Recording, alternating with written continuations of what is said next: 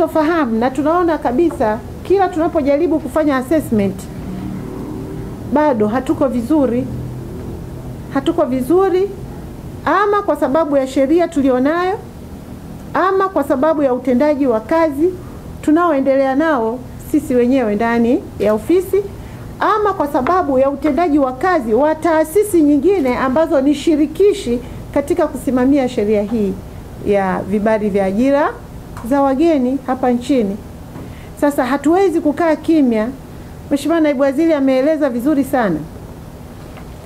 Tumeshafanya vikao kadhaa, mimi nimekwisha kuwaita watendaji wote ndani ya wizara na kuwaeleza mwelekeo wa serikali ya awamu ya sita inayoongozwa na Rais wa sita wa Jamhuri ya Muungano wa Tanzania, nini anachokitaka kwenye eneo la uwekezaji, lakini nini anachokitaka katika kuwatumia wawekezaji kufungua fursa nyingi za ajira, lakini kuruhusu ujuzi mpya uingie ndani ya taifa letu.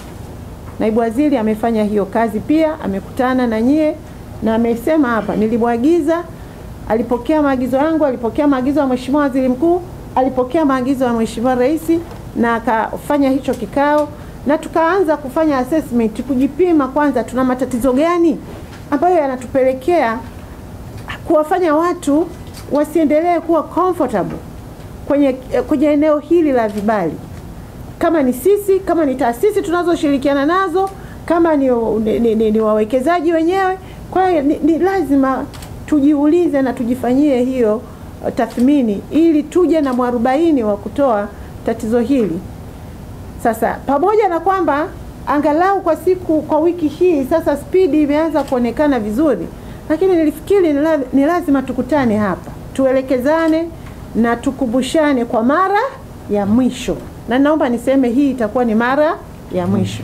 Lakini pamoja na kwamba ni mara ya mwisho, Mheshimiwa Naibu Waziri, ninajua tunavyo vibali tisa ambavyo vimelalia toka mwaka jana, mwaka elfu mbili na ishirini, navyo vimekwenda kuletwa kwako kwa sababu mimi nimekasimu majukumu hayo kwako na kamishna wa kazi kwa mujibu wa sheria, lakini yako majukumu mengine kama ya msamaha kuruhusu misamaha kwa baadhi ya wafanyakazi wa nje wanaofanya kazi hapa nchini. Jukumu hilo bado limebaki kwangu, lakini sasa ningependa kujua ni kwa nini hivyo vibali tisa vya mwaka jana havikuwa vimefika kwako mpaka leo.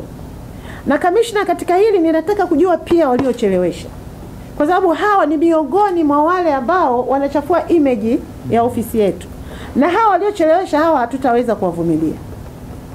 Kamishna, hawa ni lazima, ninataka kujua ni hatua gani zitachukuliwa, kwa sababu hakuna sababu kibali kibakie kwa mtumishi wa ofisi ya waziri mkuu kwenye idara ya kazi, pamoja na kwamba ni viko, viko tisa, lakini kwangu ni vingi, ni vingi sana.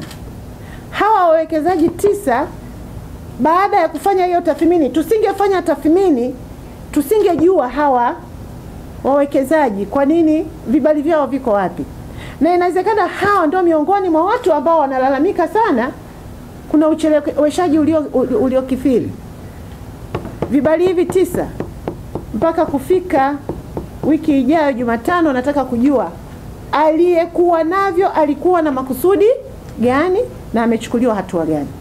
Hawa tuanze nao, hawa sina msamaha kabisa, hawa tuanze nao. Ninajua mtakwenda kwenye dispatch, mtajua aliyepokea ni nani na mtajua aliyevidispatch kuja kwa waziri ni nani, kwa naibu waziri ni nani, na mkishajua, ninataka sababu za kimsingi kwa kuzingatia sheria za utumishi wa umma, ni lazima watueleze ni kwa nini walichelewesha. Sasa hatua hii itaendelea kwa kila mtumishi kwenye idara ya kazi anayeshughulika na kazi hii. Hakuna hiyo sababu, haiwezekani, na hatuwezi kuwa idara yetu ikawa ni sababu ya kusababisha uwekezaji nchini usiende kwa spidi na kasi inayo inayotakiwa. Kwa hiyo hii naomba mwanze nayo, na wiki ijayo Jumatano nataka kupata taarifa kabisa, na tukishajua, kwa sababu nina ni, hisia zote zinajionyesha zina, zina kabisa kulikuwa na jambo linajificha hapa, ama rushwa ama sababu nyingine yoyote ama uzembe. Sasa hivyo vitu vyote Mheshimiwa Rais jana amesema, ameiweka crystal clear kwamba uzembe, rushwa, ubadhirifu hatovumilia. Mimi sitovumilia pia, na ninaamini manaibu mawaziri hamtovumilia. Ninaamini hata wewe kamishna huwezi kuvumilia. Si si jambo hili la mchezo la kufungia macho. Kwa hiyo hiyo ningependa kujua kwa kweli, mpaka Jumatano ningependa kujua ili hatua ziweze kuchukuliwa. Jambo la pili, kamishna na, na naibu waziri, kuanzia wiki ijayo, pamoja na kwamba nimekasimu majukumu ya kupokea ya, ya kupitisha appeal kwako, rufaa zinapita kwako kila wiki, baadhi ya rufaa ziletwe ofisini kwangu. Nataka kupima mwenendo mzima wa kuzingatia rufaa hizo na kutoa hivyo vibali, tunakwendaje nao. Pamoja na kwamba nimekasimu kwenu, nataka mafaili mengine yaletwe kwangu. Kazi yangu ya, ya, ya, ya, ya kutoa misamaha itaendelea, lakini nitataka kupitia kazi inayofanywa na watendaji ndani ya ofisi, wanafanya nini, wanapokea nini, vi, wanapokea vibali vingapi kwa wiki, vingapi vinaletwa kwako, vingine vitatakiwa viletwe kwangu. Kwa msingi huo huo wa kupima uadilifu wa kufanya maamuzi na utendaji kazi wa haraka. Kazi hiyo sasa kwa mwezi mmoja nitaifanya kipindi cha mpito ili kujua idara inakaa vipi na inajipanga vipi. Kwa hiyo naibu waziri, hilo pia tutatakiwa utatakiwa ulisimamie na tuone tunakwendaje nalo. Lakini liko jambo hapo, viko baadhi ya vibali tunavipeleka tunavirudisha huko mikoani kupata taarifa za ziada. Nimekuwa kila siku nikiagiza maafisa kazi wetu kule mikoani wawe na mahusiano na kamati za ulinzi na usalama kwenye wilaya na mkoa, ili kufanya kazi yao iwe rahisi zaidi ya upekuzi. Haiwezekani wiki nzima ofisi yetu hapa headquarter haipokei ripoti hata moja ya matokeo ya upembuzi na upekuzi kutoka kwenye hiyo mikoa. Hii inaonyesha kwamba hatuna timu inayoshirikiana na vyombo vya, vya, vya ulinzi na usalama kwenye ngazi ya mikoa. Naibu Waziri, simamieni tena hili, nimeshalisema. Tunapopeleka vibali hivyo mikoani kupata taarifa za ziada na upekuzi wa ziada ni lazima tutengeneze mfumo utakaoturahisishia kujua ni kwa kiasi gani watendaji wetu huko mikoani wanafanya kazi hiyo kwa haraka iwezekanavyo na kurudisha majibu kwa haraka. Na ningependa kujua ni nani waliobobea kuchelewesha taarifa hizo kutoka mikoani. Hicho ni chanzo kingine cha kuchelewesha utendaji wa kazi na ufanyaji wa maamuzi. Nilikuwa nafuatilia hiyo trendi ya hivi vibali ambavyo tumekuwa tukivifanyia kazi kwa muda kama wa mwezi mmoja. Nimegundua eneo hilo ni eneo jingine linafuga wazembe. Eneo hilo lifanyiwe kazi haraka, na ni lazima tujue kila anayepelekewa vibali kwa ajili ya upekuzi huko mikoani apewe timeline na namna gani atahakikisha vibali hivyo vinarudishwa makao makuu haraka iwezekanavyo. Kwa hiyo uzembe huo tena hatutaendelea kuuvumilia huko. Wajenge mahusiano na kamati za ulinzi na usalama za wilaya, wajenge mahusiano na kamati za ulinzi na usalama za mikoa, wajenge mahusiano na maafisa biashara, wajenge mahusiano na vituo vyetu vya uwekezaji kule. Sasa hivi tumeshakuwa na tumeshatengeneza mtandao mkubwa sana ndani ya serikali unaohusu eneo zima hili la uwekezaji. Nitashangaa sana kama idara yetu inashindwa kuwa na taarifa hizo. Tena ni idara ambayo inatoka ndani ya ofisi ya waziri mkuu. Haiwezekani. Jambo hilo lifanyiwe kazi haraka. Tumegundua hapa na nilisema toka kikao changu cha kwanza, kweli tuna hao vishoka, hao mawakala wa katikati ambao wamekuwa na tabia ya wao kufanya kazi ya kutafuta vibali kwa niaba ya waajiri na wawekezaji. Sasa tabia na mwenendo wao wa kufanya zoezi hilo sio mzuri. Ninaomba niagize naibu waziri, fanyeni utaratibu tukutane na wawekezaji na makampuni yote ambayo yamewekeza hapa nchini yanayoonyesha kwamba yanahitaji kupewa nguvu ya ziada ya ujuzi kutoka nje kwa kuleta wafanyakazi kutoka nje. Tukutane nao, tuzungumze nao, watuambie wanafikiri tufanye nini kurahisisha zoezi hili la upatikanaji wa vibali vya wageni wanatusaidiaje? Sio tu kupata vibali vya ajira za wageni, hata kutoa ajira sasa kwa Watanzania, kwa sababu hii iwe sasa ni give and take. Tunapowapa wao, lakini wajue tuna swala zima la sheria kulinda pia ajira za wazawa. Kwa hiyo tukikutana nao, tuna uwezo wa kuzungumza vizuri, na mwisho wa siku tunaweza kabisa kutekeleza sheria hii kwa manufaa ya wawekezaji, lakini kwa manufaa ya vijana wengi wa Tanzania ambao wangekuwa wanapenda wahakikishiwe usalama wa ajira zao kwa kuwepo uwekezaji wa kutosha hapa katika taifa, lakini kuingiza ujuzi mwingine ambao utasaidia. Sheria inazungumza, kifungu cha saba kinazungumza masuala ya urifishaji. Sasa namna gani tunaweza tukayafanya hayo yote? Hebu tengenezeni huo mkutano haraka sana, tukutane, tushauriane na tutafute suruhu ya pamoja, na nadhani tukizungumza na tukakubaliana vitu vya msingi itatusaidia sana kutatua hizi changamoto ambazo tumekuwa tukikabiliana nazo. Lakini jambo lingine kwangu, tunaweza tukawa na kisingizio cha upungufu wa wafanyakazi ambacho mimi sitaki kuki, kukichukulia kama ni kigezo cha kushindwa kuwajibika.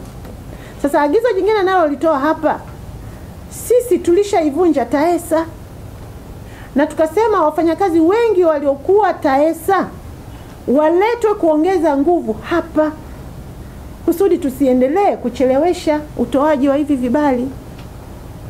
Sasa naibu waziri, na kukabidhi jambo hili ulisimamia kwa kushirikiana na kamishna na naibu waziri, hakikisheni wale watumishi waliokuwa TAESA, TAESA kama idara ibakie na watumishi wachache kulingana na ukubwa wa majukumu ambayo tumeyaacha kwao, lakini timu kubwa na hasa wale ambao walikuwa na sifa za kuwa maafisa kazi waje waongeze nguvu kwenye idara ili kurahisisha utendaji wa kazi wa idara na kuendelea kuondoa hayo mapungufu yote ambayo tuli, tumekuwa tuki, tukiasikia. Na, na, na wawekezaji na wageni wamekuwa wakitulalamikia. Kuanzisha dawati maalum ambalo litatangazwa nchi nzima, dawati litakalokuwa linatoa taarifa kwa wawekezaji wote nchini, wapi watapata taarifa sahihi wapi wataweza kupeleka malalamiko yao, wapi wataweza kueleza jambo lolote linalohusiana na eneo hili la vibali vya ajira za wageni. Lakini pia dawati hilo litapokea maoni na ushauri kutoka kwa vijana wa Tanzania wazawa ama waliokwisha kupata ajira kupitia uwekezaji huu tunao uzungumza ama walio wenye nia ya kupata ajira katika maeneo haya ya uwekezaji, lakini wamekosa taarifa sahihi, kwa sababu sisi tutakuwa tunajua tumetoa vibali vingapi, vinakwenda kufanya kazi katika maeneo gani ambayo yatatengeneza pia ajira nyingine nyingi kwa ajili ya Watanzania. Kwa hiyo nadhani haya yote lazima tuwe na dawati litakalokuwa linatoa taarifa hizo, na kila mmoja hapa ndani ya nchi aweze kuwa anapata fursa ya kupata taarifa sahihi wakati sahihi katika jambo ambalo anafikiria kwamba ni la muhimu kwake na angependa kupata taarifa hizi. Lakini tuna kazi ya kufanya mapitio ya, she, ya, ya sheria na sera. Kwa hiyo mpaka kufika mwezi wa tano tarehe kumi na tano maeneo yote ambayo labda ni kikwazo yanayohusiana na sera yanayohusiana na sheria yawe yameshafanyiwa kazi na niletewe mezani kwangu tayari kwa kusaidiana na bunge na kushirikiana na bunge ili yaweze kufanyiwa mabadiliko. Kama tunaona vigezo ambavyo labda vinaweza kutengeneza motisha kwa wawekezaji havijakaa sawasawa, sawa, tumekuwa na migogano ya sheria kati ya taasisi moja na nyingine, tumekuwa na migogano ya matamko labda ya kisera kati ya taasisi moja ama nyingine. Tarehe kumi na tano mwezi wa tano maeneo hayo yote yao yamekwisha kufanyiwa kazi na niyapate ofisini kwangu mezani tarehe kumi na tano mwezi wa tano tayari kwa kuchukua hatua za ziada. Kama ni kanuni nitazibadilisha mwenyewe haraka, Kama ni sheria tutapeleka kibali, tutamwomba Mheshimiwa Rais atupe kibali cha dharura ili sheria hizo ziweze kubadilika. Lakini tunapofanya kazi ya mabadiliko ya sheria, mabadiliko ya sera, ninaagiza hapa taasisi nyingine zinazoangukia kwenye wizara nyingine tofauti zishirikishwe. Jambo hili lisifanywe na sisi peke yetu tu. Ninajua ziko sheria ambazo ni lazima sisi tukutane pamoja, tuziharmonize, tuzungumze lugha moja. Kwa hiyo sheria itakavyotafsiriwa kwetu itafsiriwe pia na kwenye taasisi nyingine, itafsiriwe pia kwenye wizara nyingine. Kwa hiyo jambo hilo ni sioni kama tuna, tuna, tuna maeneo makubwa sana ya kutuchukua miezi sita, miezi saba. Hapana, ni muda mfupi tu. Ninaelewa yako maeneo ya msingi ambayo yanatakiwa yabadilishwe kisera, yabadilishwe kisheria, na tukiyafanyia kazi kwa haraka yatatusaidia sana kuondoka kwenye haya matatizo ambayo tunayo kwa sasa. Lakini tumekubaliana pia, mnapoangalia sheria, pitieni na hizi ada na tozo tulizoziweka kwa sababu tunaweza tukawa tunasimama na sheria tu, lakini kuna maeneo mengine ya ada na tozo ambayo yanatakiwa labda tuyafanyie mapitio upya. Inawezekana pia ni eneo linalowakwaza wawekezaji. Kwa hiyo msije mkasahau wakati wa kufanya mapitio ya sheria mkasahau kuzingatia pia tozo na ada mbalimbali tulizojiwekea tulizo kama pia ni rafiki kwa kukuza uwekezaji nchini, lakini kuhakikisha tunatengeneza uwekezaji wenye tija ya kutengeneza ajira nyingi kwa vijana wetu. Nizungumze pia jambo jingine ambalo tumekwisha kulifanyia maamuzi, na nimefurahi kuambiwa kwamba utekelezaji wa jambo hilo umeanza leo. Mfumo wa vibali vya ajira za wageni, na hapa niseme tu kwamba baada ya kuona hizi changamoto zote ucheleweshaji wa maamuzi, mwenendo wa, wa, wa, wa mafaili kupita kwenye mikono ya watu, tayari hicho kilikuwa ni kigezo kingine kikubwa tu cha kuwafanya watu wavutiwe na mazingira ya rushwa, lakini wafanye kazi kwa mazoea, lakini vile vile waendeleze uzembe na kuto kuwajibika. Tuliamua kutengeneza mfumo, na mfumo huu ni shirikishi umeshirikisha taasisi mbalimbali za serikali kama wenzetu wa uhamiaji na taasisi nyingine. Sasa tunataka vibali vyote viombwe kwa kutumia mfumo maalum uliotengenezwa na ofisi ya waziri mkuu, na mfumo huo tumeanza kuweka kwenye majaribio leo na tutakwenda nao kwa mwezi mzima. Sasa kwa sababu tumezindua huo mfumo leo, tumeuzindua kwa maana ya kuuweka hewani tayari kwa majaribio. Naomba kipindi hiki cha mwezi mmoja, kamishina wa kazi, kila siku ni lazima muhakikishe mnapokea maoni ya wateja. Mfumo wetu uko rafiki kiasi gani?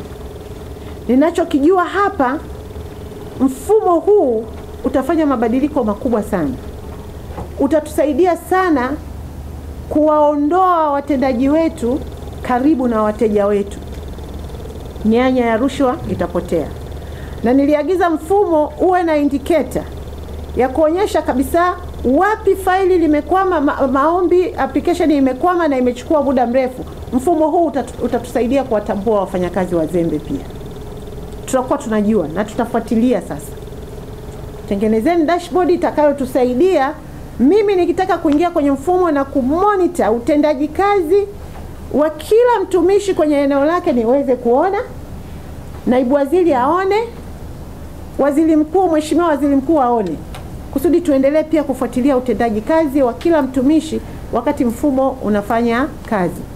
Kwa hiyo naomba mfumo ufuatiliwe kwa karibu sana, marekebisho yote yafanyike ili mfumo huu tutakapouzindua tuwe kweli tumepata suluhu ya tatizo hili la upatikanaji wa vibali vya ajira za wageni kwa muda unaotakiwa. Mfumo pia tuone kama unajibu yale yote ambayo yalikuwa ni vikwazo. Kwa mfano immigration quota, nyewe mnajua hiyo inatupa shida, lakini naamini kwa sababu tumekaa pamoja na wenzetu wa uhamiaji TIC, pia nadhani hiyo itatus, itatusaidia na yale ambayo yalikuwa ni vikwazo pia kwenye hii incentive motisha kwa wawekezaji. Kwa mfano masuala ya ujuzi kwa wawekezaji ambao wanaingia wanaingiza wafanyakazi lakini chini ya takwa hili la kisheria kama motisha. Kwa hiyo ni lazima tuendelee kuyatizama yale mambo ya ujuzi na vitu vingine, kama havina Tija. havina tija tuachane navyo. Mtu anapopewa motisha ya kuingiza wafanyakazi wake watano, kwamba hii ni motisha yako, hebu mwacheni aingize wale anaofikiri watamsaidia na anawaamini. Sisi kitu tunachotakiwa kubaki nacho ni usalama wa nchi.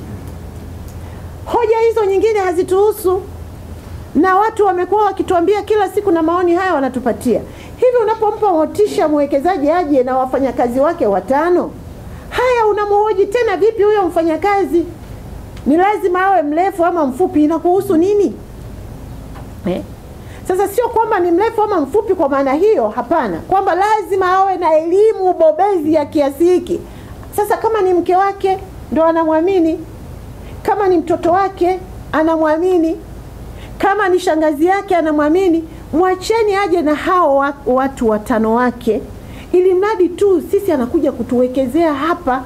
Hao wengine wata, watabanwa na masharti mengine, lakini kubwa hapo la kuangalia ni usalama usalama wa nchi, na hapo hatutazuia kwa sababu tutakapo atakapoingia atakapoingiza hao hao watu wake watano ambao tunasema sisi tunampa kama motisha, tutakachotaka kumbana yeye, tunapompa hao watano, yeye anatupatia wangapi, na hasa kwenye manage, kwenye, kwenye management team? Tujue kwenye management team anatupa wangapi wa Tanzania? Kusudi angalau na sisi Watanzania wetu waajiliwe katika ngazi ambazo ni za juu kwenye uwekezaji utakaofanywa, lakini na wengine kwenye ngazi mbalimbali wataendelea kuajiliwa. Kwa hiyo kama analeta watano, sisi tunapata faida ya sitini na kati ya sitini kumi wanaenda kwenye ngazi hiyo ya management, hatuna hasara ndugu zanguni. Kwa hiyo ni lazima tu sisi sasa tubadilishe mitizamo yetu kulingana na kile ambacho taifa linataka kwa sasa. Kwa hiyo nilikuwa nafikiria kwamba tunapotizama huo mfumo tuangalie na hayo mapungufu ambayo ni, ni ya sheria nyingine tunazohusianishwa nazo ili tu, tunapoutumia mfumo ujibu pia maswali, ujibu na matatizo ambayo yalikuwepo na tutafute suruhu ya kudumu tuondoe haya mambo, tuondoe hizi kelele ambazo tumekuwa tukizipata kutoka kwa wawekezaji ambazo zinapunguza spidi ya uwekezaji nchini. Lakini jambo jingine, mfumo huu tunapoenda nao ni lazima pia usomane na mifumo mingine. Tuna watu kama OSHA, tuna TRA, tuna Workers Compensation, kuna watu wengi wengi, kuna taasisi hizo nyingi nyingi. Lengo la Mheshimiwa Rais ni kupunguza vituo vingi vya kujibu hoja ambazo zinaweza kuwa zinatakiwa zipatiwe majibu kwa haraka na kurahisisha shughuli nzima ya uanzishaji ama uwekezaji, uanzishaji wa biashara ama uwekezaji katika taifa letu. Tunatakiwa angalau tutengeneze mazingira ambayo wale ambao hawatakuwa TIC, je, wale ambao hawajajisajili TIC huku kwingine tutawasaidiaje? TIC tumesema tayari tuna one stop center. Sasa hawa wengine tunawasaidiaje? Angalau huu mfumo tuendelee kuboresha kila mtu mwenye hoja yake mfumo uweze kujibu kwa haraka. Sasa hivi immigration tutakuwa nao, lakini hawa wengine pia lazima tuzungumze, tuone tunafanya nini kusudi mfumo uondoe matatizo hayo yote kwa pamoja na tusiendelee kurudia rudia tena. Kwa hiyo ni lazima kuendelea kukaa na mkandarasi kipindi hiki cha mwezi mmoja, ni lazima tuutizame kabisa huu mfumo wetu unavyoendelea, na timu mtakaofanya kazi ni nyie. Sasa hapa hakuna swala la uzembe tena wala kuzembea, ni lazima kufuatilia kwa karibu sana. Naibu Waziri, umezungumza vizuri sana. Yako yale masharti mengine ambayo yalikuwa yanatusumbua kama watu uh, TCU NACTE na, na watu wa namna hiyo, yamechelewesha, yalikuwa yanatuchelewesha, ingawa bado tunataka ujuzi unaoletwa ndani ya nchi uwe ujuzi wa viwango vya hali ya juu. Hilo nalo hatutaki kuli, kuliacha. Tunachoweza kufanya ni kuwasiliana tu na timu zetu za ndani waweze wao kutusaidia kututhibitishia tu kwa haraka kama ujuzi huo unaoletwa ndani ya nchi una viwango vinavyotakiwa kwenye taifa letu. Kwa namna gani tutaendelea kushauriana na kuona njia nzuri ya kufanya hivyo. lakini maeneo yale ambayo tunataka ujuzi kweli, kwa mfano, hatuwezi kuacha daktari anaingia hapa ndani bila kujua kama huyu ni daktari profession. Kuna maeneo ya aina ya ujuzi ambayo ni lazima tuyafuatilie, hiyo wala hamwezi mkaachilia mka mka achilia tu. Tuna maeneo ambayo ni sensitive, hayo ni lazima tufuatilie kwa karibu kuhakikisha kwamba kweli, huwezi ukasema huyu ni daktari eti hajasomea, haiwezekani. Hakuna daktari ambaye hajasomea. Kwa hiyo kuna aina ya ujuzi huo ni lazima tuthibitishiwe na tuwe na uthibitisho kabisa kwamba huyu anayekuja atafanya hiyo kazi. Lakini kazi hizi za ufundi, ndugu zanguni, kama kutengeneza hizi meza, mtu anaweza asiwe na degree lakini akatengeneza hii meza kuliko hata mtu mwenye mwenye degree. Mtu anaweza kutengeneza talazo ikawa nzuri na hajaenda chuoni, lakini amefanya hizi kazi huko huko alikokuwa amefanya kazi kwenye kiwanda miaka mingi na ana ujuzi. Huyo ukimwambia alete, alete cheti cha degree atakitoa wapi?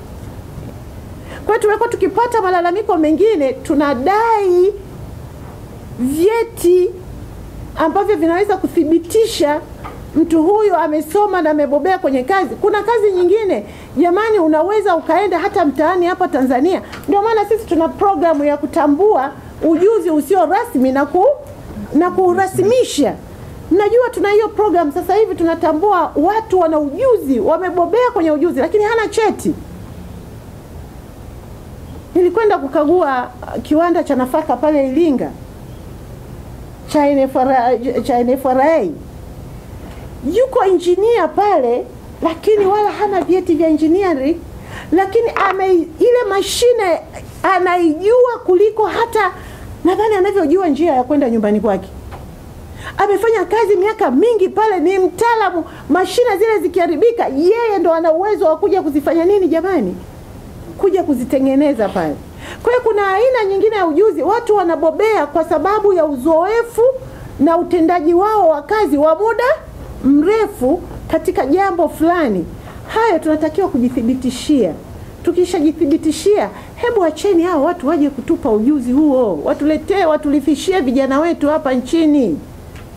Kwa hiyo ni swala la busara na mashirikiano tu, na wale wanaohitaji tuwe sensitive kwenye miradi yetu ya, ya kimkakati. Hiyo lazima tuwe sensitive, kwa sababu ni lazima miradi ijengwe na idumu na iishi kwa muda mrefu. Kuna maeneo ambayo tutaongeza umakini wa hali ya juu ili kuhakikisha kwamba taifa haliingii kwenye matatizo, lakini kuna maeneo wakati mwingine na sisi tunakuwa rigid sana, lakini hayana hatu, si, sioni kama kuna tija sana, na ukizingatia mtu anakuja na timu yake, anaamini huyu anaweza kusimamia utengenezaji wa tiles, huyu anaweza kusimamia ushonaji wa nguo, huyu anaweza kuja kusimamia. Kuna vitu ambavyo tunatakiwa tutu, tu, tukavipima tukatumia busara zaidi na tukaweza kufanikisha sana swala hili. Kwa hiyo haya mawanda yote tukiyapima na kuyaangalia, mwisho wa siku tunaweza tukafanya mabadiliko na tukawa na sheria nzuri, sheria ambayo inaweza ikatumika na mtu yoyote, na tukafanya uwekezaji kwenye taifa letu ukawa mkubwa. Tunaweza kujifunza pia kwenye mataifa ya wenzetu wanafanya nini. Ninaamini kabisa yako mataifa ya wenzetu wanafanya vitu vitu vizuri. Kwa hiyo tujifunze na kwa wenzetu. Wenzetu wanafanyaje? Kwa nini huko wenzetu wanafanikiwa, sisi hatufanikiwi? Kwa nini sisi tumefanikiwa mpaka hatua hii na wenzetu wamefanikiwa mpaka hatua ya juu zaidi? Kwa hiyo tunaweza tukajifunza tu pia. Kamishna, tafuteni nafasi, hebu jifunzeni, fanyeni mawasiliano na nchi za wenzetu, jirani zetu kwenye East Africa, kwenye SADC.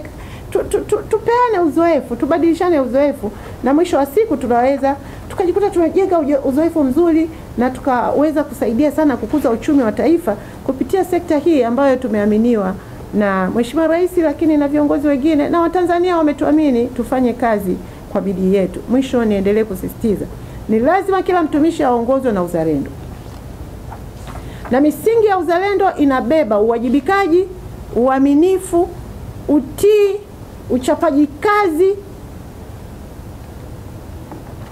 kuepukana na rushwa. Eneo hili lina mvuto wa namna yake kwa wengi kupokea rushwa. Sasa kuanzia sasa tunakifanya hiki kikao chetu ni kikao chetu cha mwisho cha kuelekezana.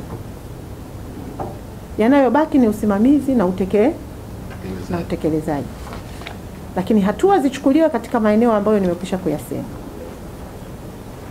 Najipa mwezi mmoja kati yangu mimi na nyie kujipima na kutoa matokeo, matokeo chanya yenye mabadiliko Chanya. makubwa, na mabadiliko hayo makubwa yawe mabadiliko chanya.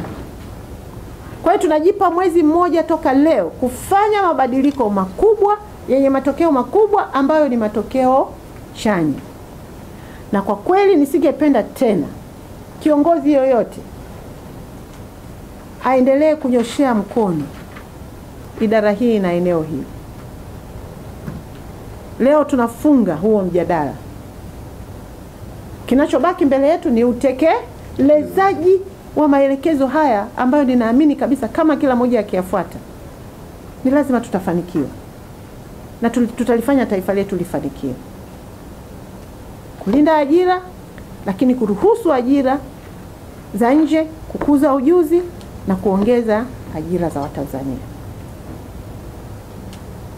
Na kusaidia kukua kwa uchumi wetu. Ninawashukuru sana. Na kuanzisha dawati maalum ambalo litatangazwa nchi nzima, dawati litakalokuwa linatoa taarifa kwa wawekezaji wote nchini